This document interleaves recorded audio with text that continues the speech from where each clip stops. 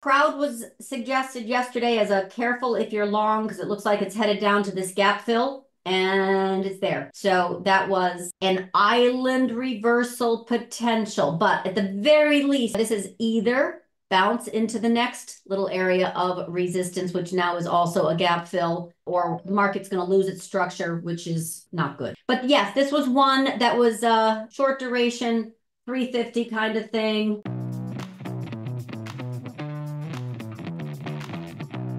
This short clip is presented by Club. Club provides access to Samantha LaDuc and her team of professional macro and micro traders, analysts, and educators.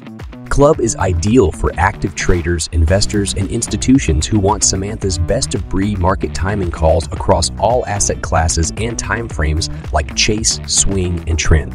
Get the trade before it happens. Sign up to Club now and get full access to daily live trading room with Samantha LaDuc Slack trading desk with detailed analysis and trades, custom trade support when you need it, and much more.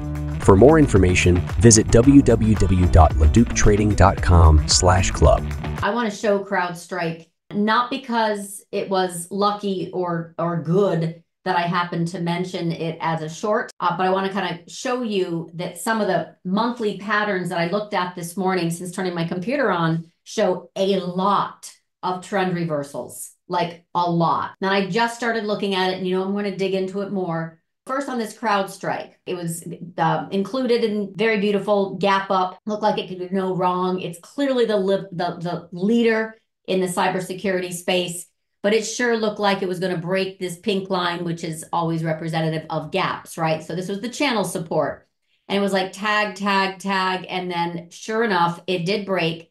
This is a Bollinger Band that opens up now, clearly, since then, it has gone all the way down to the 200 day, where oftentimes it will get a little bounce, but this has been damaged badly. And of course, downgrades are going to start coming in, and folks are just going to be like, I don't know about this. So, anyway, long story short, we left a gap for good reason. Island reversal could be very much a trend reversal, but you can't ever tell, for me anyway, on a daily. It's just a, a channel. Beautiful. Okay, gap fill, very, very weak. There's your 100 day. Next is obviously the 200 day, but it usually happens in time, not all at once. From 250 to 290 is a, is a big hit for crowd and it's still suffering terribly. So I can show you on the weekly, because you know I love to pull out, zoom out in time.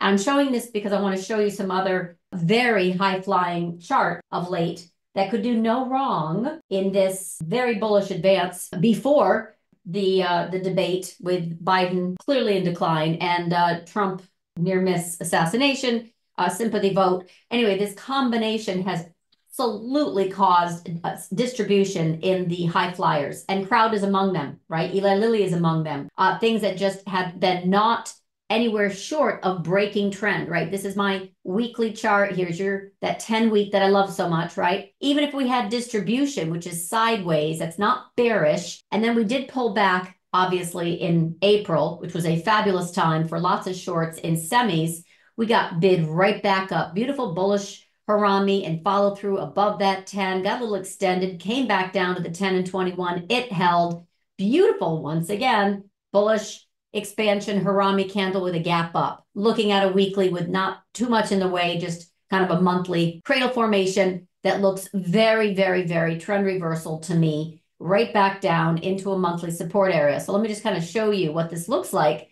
with a monthly support area. And before I do that, so here's the monthly view. This was the run up, could do no wrong, pulls back to the 10 on the monthly until the fateful November 2021 when everything in NASDAQ, of course, speculative or momentum, didn't matter, pulled back and NASDAQ fell 35%. Well, you can see that this was the November high that it needed to get back above, and it did. Since then, this year, it has stayed above. So this is the January candle. We got February, March, April, May, June, July. This is where it's literally coming back down, which is the 10 on a monthly, just like I had a 10 on the weekly, but it is a honking big bearish engulfing, huge. Uh, so this is very dangerous. So even if we were to bounce here on a relief bounce and fill some area right back up into maybe even 338 and change, wouldn't surprise me. This is a trend reversal in the making. So I don't think this is going to be, uh, I know a lot of people are very, very bullish CrowdStrike. I got that, but I'm just warning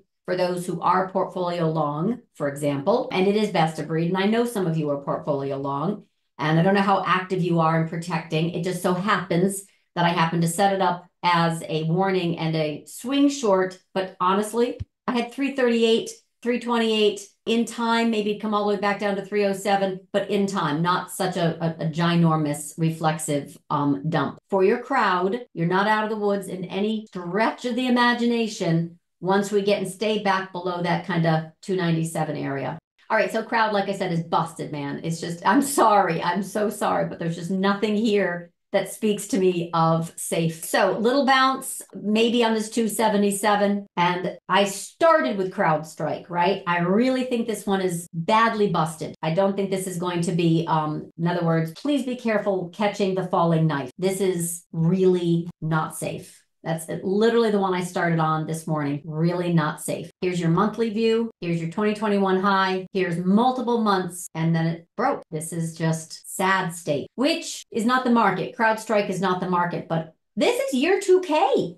Do you remember you uh, uh, the year 2000 Y2K, right? Everyone was worried about a global internet outage where planes would fall from the sky and all that jazz. Like literally what happened is exactly what they were afraid of, the blue screen of death although thank God instruments didn't stop working. But the point is that was the largest outage in on the globe in history, that which they were all freaked out about in the year 2000. What happened following that is just, you know, it happens to rhyme with we topped out and rolled over. And crowd, let me put on a monthly, it's just kind of easier. And monthly, this is just broken as I started off the whole talk with, right? We've actually opened up below the 50, below the Keltner. If we see any reflexive bounce, it'll be once everything gets probably back and operational, but I don't see any support yet. All right, so 261.81 is a, an area of support. Got to get some new rotations this week because last week worked really well. So here we have some support to 72.63 area. Let's see if we get any reflexive bounce, at least back into the 200 day. But I just think on a big picture, this is still toast.